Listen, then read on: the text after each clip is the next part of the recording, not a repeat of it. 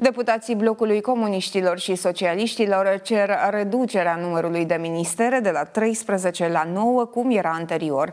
Potrivit lor, revenirea la cifra anterioară ar economisi banii publici care ar putea merge la finanțarea unor proiecte sociale.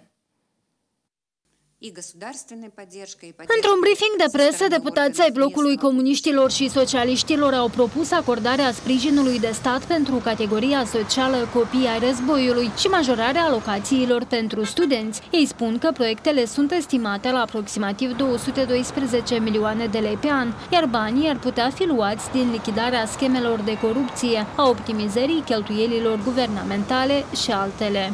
Cunoaștem recent că Guvernul Republicii Moldova și-a modificat numărul de ministere din 9 la 13. Ar fi cazul de revenit la cele 9 ministere. Tot o economie, după părerea noastră, ar fi interzicerea angajării verișoarelor, mătușilor, soacrilor, concubinilor la funcții publice de sat, unde primesc salarii de circa 27.000 de lei lunar. Dacă și este vorba de un sacrificiu, atunci ar putea să lucreze și gratis, dacă a venit la un salariu de 50.000 de lei la 27.000 de lei.